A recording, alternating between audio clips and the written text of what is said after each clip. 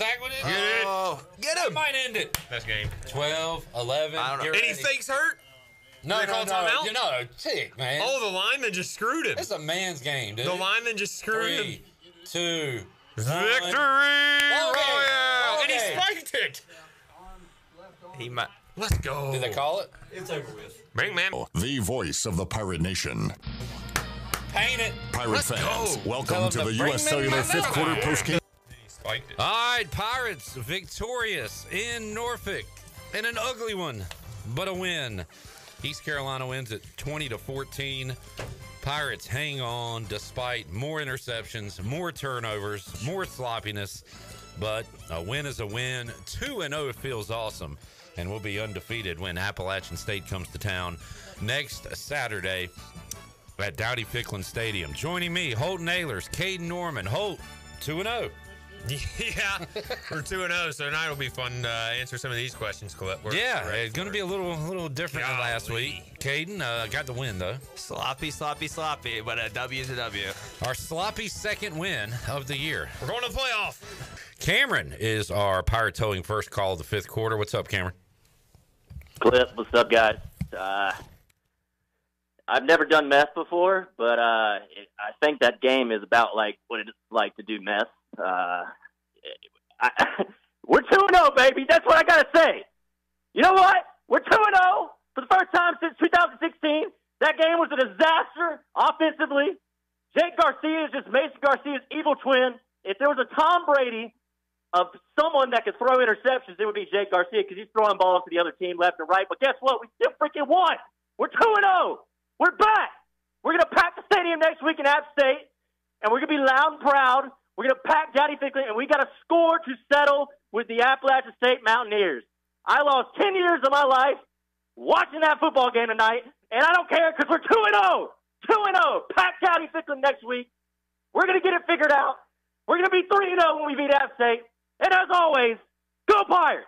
Cameron is the worst. Uh, just need to say that, get it off my chest. Uh, thoughts on the play calling tonight, guys? I mean, it's tough when your quarterback's playing like that, man. I mean, you look at his stats though; he was twenty five for thirty eight. Is that right, Caden? Yeah. But just with four picks, so like, is he just streaky as heck? And like, just when he's hot, he's hot, and he's throwing out routes to the field right on a dime. And then when he's not, he's just throwing four picks and a half or three picks and a half. Like, I mean, it's tough to call plays then, but yeah, I mean, when you have four turnovers, could have been more. There was a couple fumbles too. Like, play calling is never going to look good in that situation, Caden. No, I agree with you 100%. And I agree with Dave. He, I, I asked Holton the same question. He keeps throwing the double coverage, keeps throwing the double coverage. I think he's, one, not you know, seeing the defense, or two, just staring his guys down to, to throw double coverage that many times. But one thing I also want to call out is, you know, we have 450 plus yards of offense. We were moving the ball. Again, it gets shadowed over Yeah. the, the four interceptions and the turnovers, which are super frustrating. And, you know, last week we gave him the benefit of the doubt. Maybe he was nervous. This week, you know, we all see it. He's staring down double coverage and making bad decisions. Hey, yeah, I got a question about why do we have a quarterback still in the game when he has four interceptions? That's that's a good one, man. I mean, the thing you can say though is Coach Houston stuck with him and they won the game. So you know the goal of, of the game is to win, and they won, I guess. But yeah, I mean that's a he's gonna have to answer that question sometime, man. You know, tonight or you know sometime this week he's gonna have to answer it. Um, the you know thoughts and prayers to uh, Javius Bond. Um, I, I hope it's not anything serious. Um, you know, you never want to see somebody go down that quick. Um, and I, I really do hope he's back this season. Um, and I hope it's not anything that's going to be uh, a serious or detrimental that requires surgery. defense was awesome. Defense played the tails off. Can't ask for any more out of defense. Um, gave them bad situations repeatedly over and over and over again, and they and they kept bailing bail, bailing the team out. Um, I, you know, I, I I'm gonna ask Holton this. Um, Holton, I, I'm, it's already been asked. I'm sorry. Do you open quarterback competition back up this week, or do you think it's whole, or still uh, Garcia's job? I don't know if it's his job. Um, I think it's. I don't think you change it now because you got App State rolling in. Do you want Houser to go start his first game for ECU? You haven't really seen him much. Clearly, Garcia beat him in camp, and they saw enough for him to beat him in camp. To where do you want to throw the guy who you think lost the job out there versus App State? But also, He's thrown seven interceptions in two games. So it's like, I wouldn't be surprised and I wouldn't mind it. But also, I understand. Look, Houston last year, Caden already made, made the point. I don't know if you're on hold during this, but Caden even said, like, Houston might be a little bit sore from last year of making a quarterback change too early. And everything we've heard so far is he's going to have a long leash on him. Now, seven picks in two games, that's pretty long leash. Um, but I don't know. I mean, I think that's why Houston gets paid the big bucks is to decide that. Well, you got a rival coming in. Your boat, or we're going to be two and zero. It's going to be a huge game for us. Um, do you go and bring out a new quarterback game three, let him have his first start in front of a huge crowd? He's played in big games before. Caden, what do you think? No, he's not benching Garcia this game. He, I think we, we'll we'll just have to see how long his you know quarterback leash is and how many turnovers it is till Houston thinks about replacing him. I don't think he is. Every conversation we had with Houston in the offseason, he mentioned last year, you know, wasn't the wasn't what he should have did. Should have had a longer leash, and I think that's what he's going to do this year. Especially like you said, well, you know, App State biggest game of our year with Liberty coming in this week. So it's like, hey, he's to give let him play. And big thing is when he's not making turnovers, he's fun to watch. He has a lot of confidence. He has a lot of moxie, but he's streaky. He's going to be streaky good or he's to be streaky garbage. So it's just one or the other. I will tell you this, Kyle. I guarantee you there will be a conversation with Houser and Houston behind closed doors and JDB too of saying be ready. Because next week, if you go in the first half, no matter if you're winning or it's tied or anything, and he throws three picks or two picks in the first half, yeah, you'll see Houser. Another night. hey, an- another win. Yeah, you know, you know what? In all these years I've been calling, I never thought I would call up after a win and complain about a win. It's unbelievable. But And usually I, I might get on fans for that, but not tonight because I was pissed off in the first half. I'm not gonna lie, it, it was pitiful, and it was a it was a win, but it was an ugly win. So if you got complaints, I totally understand. Uh, I also will be trying out in the spring for kicker. I think I've seen enough. Uh, and the net mouth. Wait. I don't know if you saw that. That was crazy. Hold on, now now we missed the extra point, but Conrad hit a huge 50 yarder. A bomb. He he did. He did. Uh, you weren't impressed. All right. Well, you can yeah, you can try out. Tryouts are welcome. Uh, let's let's start with the positives. So two and zero. Uh, I know some other callers said uh, you know that's that's many wins we had last season, so that's electric. I'll tell you another thing from being at the game. A lot of purple up there. A lot of purple up there. Love to see it. It was loud. You know, it was it was a great atmosphere for the Pirates up there.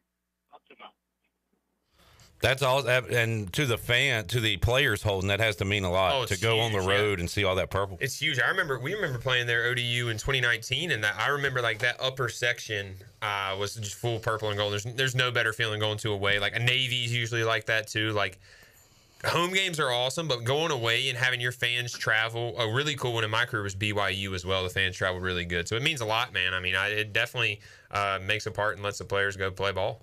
App State has a really really good culture, really good program.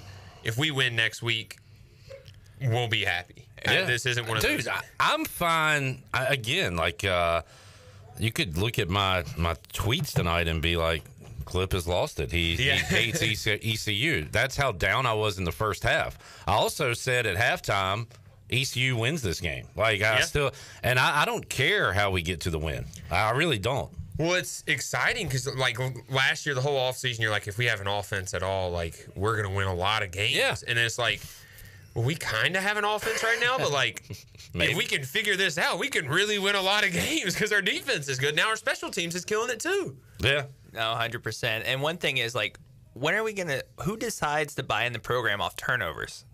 Well, come on, let's let's believe. I hate cheesiness and football. I hated the cheesy coaches, but after talking to Jeff Blake this past week, hey, the lunch lady has to believe. If we win these games off this, freaking believe and let's win. Let's go. We wanted them and we got them for the second straight week. Last week's little nugget of the game at Dowdy Ficklen Stadium. We welcome on Little Nugget from Grimesland. What's up, Nugget? Guys, what's up? I uh, I think it's pretty obvious by now that I've decided to just embrace uh, the little nugget of the game. Uh, last last week I was a little upset. I didn't feel like it was very deserving. Um, I'm a, like I said, I'm 25 years old, grown man. Don't feel like a little nugget, but you know what? It's sponsored by Chick Fil A. My wife and I are regulars at the Chick Fil A in Winterville, probably an unhealthy amount, so I'm okay with it. Um, Abbott, you want to sponsor me? You can do that. You got the app, right, Nugget? You got to have the app. Do I have the app? I have record numbers of, uh, of points. Uh, yes, sir. I hear you. All right. First of all, shout out Little Nugget. I, this is how small of a town Greenville is. I actually watched the game with Little Nugget tonight. So, What? uh, yeah. Yeah, yeah. So much for staying anonymous. I didn't say your name. I just said I was, I was with Little Nugget tonight. I felt I felt kind of famous.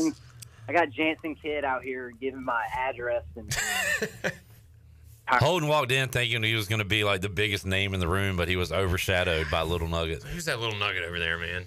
I mean, he did ask for my autograph at the end of the night. Did we talk about the end of the first half? I We, think we really haven't talked about it a lot. so. w- Holton, I saw you put some up on social media. So, what you think it was a, a helmet thing where they were telling one thing and Houston was doing the other thing, or what do you I think? You know, I'm a I'm a big conspiracy theorist. so I'll start with that. Um, but I think I mean that's the only reasonable answer. If not, they just managed it horribly, which they did either way. But this new helmet mic, the quarterback has a mic, and if you watch the film, Garcia's telling the guys spike, spike, spike, spike, spike, while the field goal team's running on the field. So my thought process is John David Baker in the headset is telling Garcia to spike the ball while Houston is sending the field goal, you know, team on the field. And then you're out there and you look around and I'm going to give a shout out here to Zion Wilson, the right guard on field goal, looks around, notices there's not a quarterback back there, decides, you know what? I'm going to go play quarterback. He steps back, calls for the snap, catches the ball, and spikes it. Now, it didn't count, but the set on that guy to do that himself, man, I mean, I'm impressed. We go next to uh, Brooksy in Binghamton. What's up, Brooks? What is up, guys? How's it going? Great, man. We're 2 and oh. 0. Absolutely. Look, I don't know if this is fifth quarter history, but I am calling from a Dave and Buster's right now. All right. so uh, I don't know. Might have to check the history books on that one. I didn't get to call in last week, so I didn't get to share my favorite Holton Ahlers and Caden Norman memories. So I'm going to do that right now, and has nothing to do with football. It's when Holton and Caden were on an intramural softball team together. I was umpiring the game. The two of them come running in from the outfield because I think the Gold Speed or whatever they call the end of year athletic awards now was wrapping up. They come in with khakis, Oxfords, button ups, all that stuff, running into the game. Holton in I think Sperry's or loafers rolls up his khakis like capris and is absolutely hits a tank over the property line fence, not the home run line, but like the property line that separates ECU campus from Greenville. Uh, and that was really cool. And Caden was also there just to take part in that as well. So that was my favorite memory of those two. That was a good time. I, I appreciate that. That was a good time, Kane. You you were a part of that. I, I took part of it. Yeah, I like that. So I just wanted to get it out there. Uh, great to be two and zero. Uh, I think having two quarterbacks on the fifth quarter has been absolutely tremendous, providing insight. Uh, proves why Pirate Radio continues to be the best in ECU coverage uh, year in, year out. We go to Randolph in Greenville. What's up, Randolph? Hey, how y'all guys doing tonight, man? Two and zero. What's up, Randolph? Talking about Randolph, uh, you know a thing or two about interceptions watching Dak every week. Dak. Did he go? He didn't go to Dak training camp. he went to Dak Passing Academy. We're gonna have a sellout crowd next week. It's gonna be insane. App State ain't gonna be ready for the for the humidity. We're ready. Three and zero is coming next week. I told you last week. I'll tell you again this week. We're back. Zach, I gotta ask a question. So you DM the podcast page, I believe. Oh, he's gone. I think that's the local politics guy clip. He DM'd the page and said he thinks it's him. He was drunk one night. That's local politics, but it don't sound like him to me. I, But, um, I'm a could be. conspiracy theorist. Because that guy was using a fake alias because he called in from with two different names from two different places back to back weeks. There's local politics, bud. That sounds just like it. Sounds a little closer than I thought in my head. Hey, Cliff. Hey, buddy. I, I got I got one thing. The one thing that I'm gonna say. I, we look like a JV team at the end of the first half. That kind of crap right there. That's stuff that you see in a JV football game. I'm not the best coach in the world, but I coached high school for six years, and I coached down at Bladenboro. It was a one A school, and our coaching staff was better developed and communicated better than those guys that have got headsets. That was freaking ridiculous to act like that and to handle that situation that way. That was pathetic. We were darn lucky to win that damn ball game tonight. Damn lucky. Y'all have a good night. All right, Skip. I, I'm fiery. I'm with you, man. Uh, this guy's got some gall calling in. 0 for 2 on his locks of the week this year, uh, this season. John Moody in Morehead. What's up, John? What's up, Clipper? I'm surprised you got money to afford a phone the way your bets go.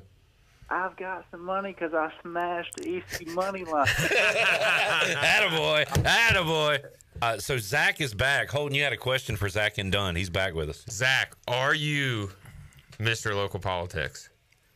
Hold on, I genuinely think I am. I mean, I was pretty highly intoxicated that night, and I'm pretty sure I called back from Jack, Zach from Jacksonville, Zach from Dunn. But I mean, it's local politics, bud. Um, I mean, I, I, I've had four or five people tell me that I'm the guy. The more I hear it, the more I think it. The more that it goes unconfirmed, the more that I think it. So you know what? But at the end of the day, what's another team that can throw four interceptions tonight and still win against Old Dominion? Agreed. Are you going back to your first call? We've already had your call. Yeah. Well, let's hear it one time, Zach. In, in the call with it. In the call with it, just one time. I already did it. Do it again. Do it again. It's local politics, bud. Oh, There's yeah, it's local definitely him. politics, bud. Mm. Yeah, that's him. Okay. No, it, it's a different tone because I said it's local politics, bud. There's local politics, bud. Man, I was pissed off. Uh, I think Holton. I think you. Uh, I think there there may have been a loss involved with that call. Yeah. Uh, I've already publicly apologized to you on Twitter. Oh yeah, we're cool, man. Yeah, so we're good. I mean, we've we've we've had Twitter beef squash. We've had uh, the uh, the podcast call. I mean, we're we're Gucci, baby. Yeah, we are, man. You're, you're even in the intro of the pod now. You're on T-shirts. I mean, you kind of made it big time as Mr. Anonymous now finally coming out. So uh, I bet it feels good for you to get that bird off your chest. Local politics, bud. There's local politics, I bud. was I couldn't tell that was the rewind or not. Oh, that's great. Nobody talked about breaking the white jersey curse tonight. There is no because there is no curse. We've broke the curse. I talked to Holton before the show in the pregame. You named off several games where you won with a white helmet.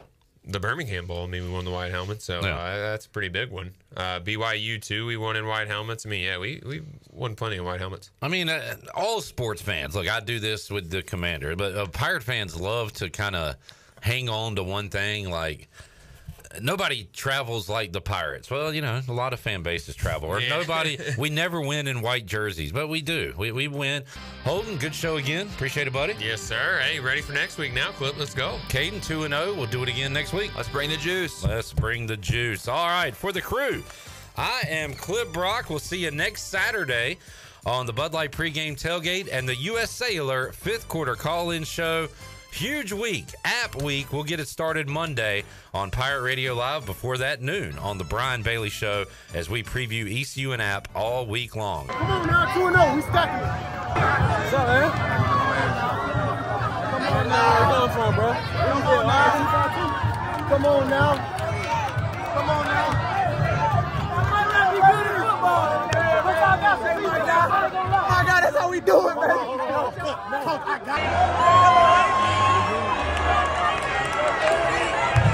Big dog, big dog, big dog.